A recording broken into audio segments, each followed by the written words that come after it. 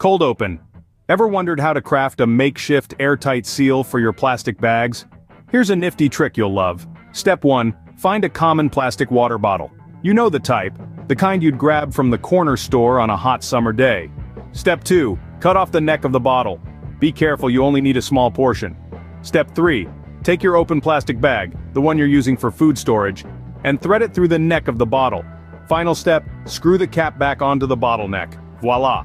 You've just created an airtight seal, perfect for keeping your food fresh. Remember, small actions can make a big difference. Stay resourceful, stay smart, and until next time.